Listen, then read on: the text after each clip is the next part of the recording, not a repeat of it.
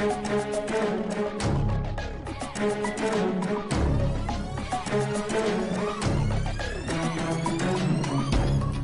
a lot of things going on all at the same time today. It's a little uh, bit of a balancing act. We've got um, Travis Payne, big time, world famous choreographer. In the other room, he's uh, rehearsing Ashley. I'm shooting you as you're shooting me.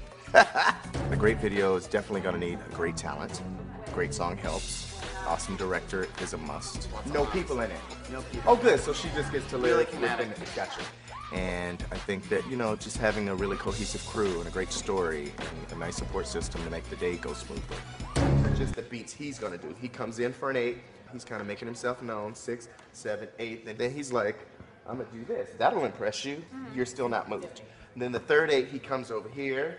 And then he approaches you, and then you try to get in like everything's okay. She's like, "Oh, not too quick," and you're like, "Oh, no, no, no, no, that won't work." You know what I mean? And he does that, right? And then he slides in, and then you just sort of look like, really? Yeah. Go. Boy acting as if there's no pressure.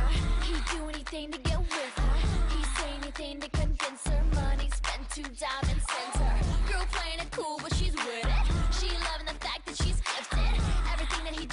gets lifted. Feels so wicked, loving like oh. Okay. Yeah.